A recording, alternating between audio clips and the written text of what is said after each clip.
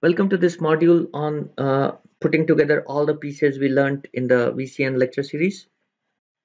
My name is Rohit Rai and I'm part of the Oracle Cloud Infrastructure team.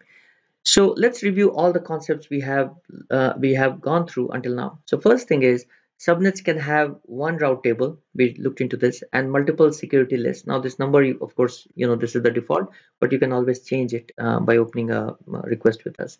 Route tables define what can be routed out of the VCN. You don't need uh, a local uh, uh, rule because the traffic is all, already allowed inside the VCN, but it basically decides what kind of um, traffic can be routed out of the VCN. Private subnets are recommended to have individual route tables to control the flow of traffic outside the VCN and not just their own route tables, but also security list. So your things are much cleaner. You don't mix and match uh, private and public subnets all hosts within a VCN can route to all other hosts in a VCN. There is no local uh, route rule required. Now this is this is great because otherwise you would be writing local uh, route rules to allow the traffic. Now the thing to keep in mind is even though this is true, you, you still the, the host within two subnets cannot talk to each other unless you open specific ports. So you are, or unless you make changes to the security list. Security list manage connectivity north-south so whether it's incoming, outgoing to the VCN and east-west. So this is what I was just saying, internal VCN traffic between multiple subnets, you still would need to operate on the security list and make changes for the traffic to, uh, to flow between them. OCI follows a whitelist model, uh, which means that you must manually specify whitelisted traffic flows. By default, things are locked down, like I was saying, right? Even if two instances uh, are in, in, in the subnets, um, within the same VCN, they it's not automatically uh, the traffic is not allowed between them. Instances, in fact, instances cannot communicate with other instances even in the same subnet unless you permit them to. So you can test this out, uh, and this is going back to the whitelisting model we were talking about earlier. Um, final thing, we looked into this in the previous module. Uh, Oracle recommends using network security groups instead of security list because network security uh, groups lets you separate the VCN subnet architecture from your application security requirement. What does that mean? Two instances in the same subnet uh, with, with security list need to have the same security posture, meaning incoming, outgoing traffic on specific ports have to be the same. In case of network security group, that's not a requirement, uh, that's not a restriction. You could have different uh, kind of traffic, different ports, different protocols, different destinations and source supported, uh, even though those two instances are in the same subnet. So let's look into this uh, from a sort of a graphical, you know, easy to understand uh, uh, uh, mechanism. We have gone through this in several demos, but it's good to recap here once more. So we have re a region, we have a VCN. Just again, for sake of simplicity, I'm not showing ADs. It can be a multi-AD region or it can be a single AD region. We have two subnets here. There's a front end and there's a back end. And again, we have seen this in the previous demo.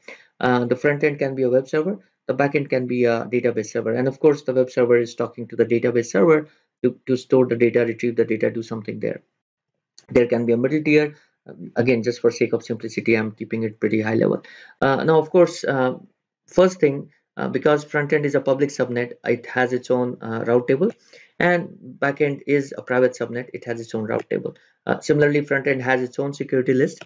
Backend has its own security list right? Pretty straightforward. So what is front-end's requirement? The front-end requirement, it's a web server, it has a public IP, it wants to go to the internet, people should be able to ping the, the, the, the web server. So it has uh, it has traffic going to the uh, to the to the internet gateway. Now in case of the backend, uh, the backend uh, we don't uh, want to allow that kind of traffic right? We don't want to allow the traffic to go to the internet. But in this case it could go to a uh, NAT gateway. It could go to a service gateway um, because it let's say NAT it wants to get some uh, updates and patches from the from the web. Uh, in case of service gateway probably it wants to go to the to the object storage to to do a backup for example right?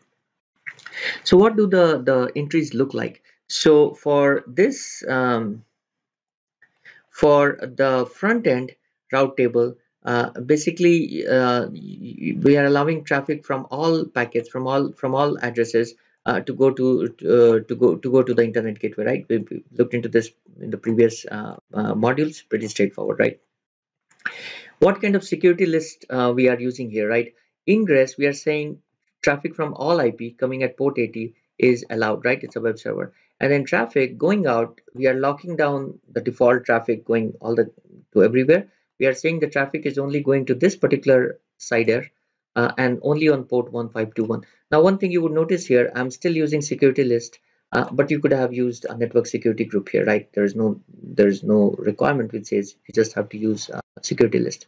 Now, in case of uh, in case of the backend, uh, again, I'm saying traffic going to all IP addresses, all kind of uh, you know any any IP address can go to a NAT, can go to a service gateway, or even can go to a DRG if I'm going like if let's say this is my on-prem I want this traffic to go to my on-prem environment I could do that. So this is the kind of traffic which is which is which is flowing here.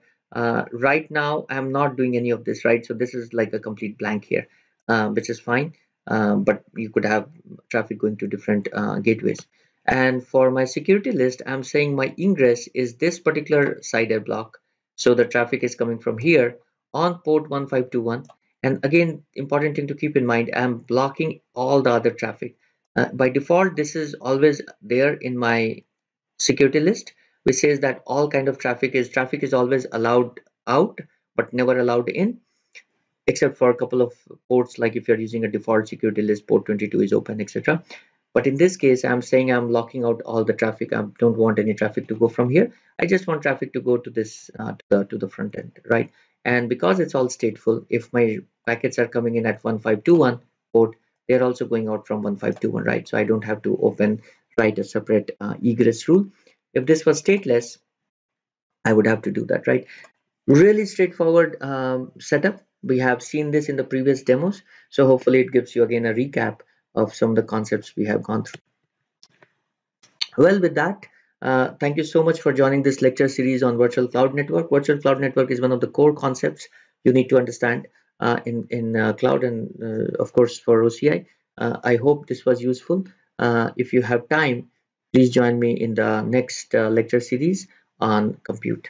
Thank you.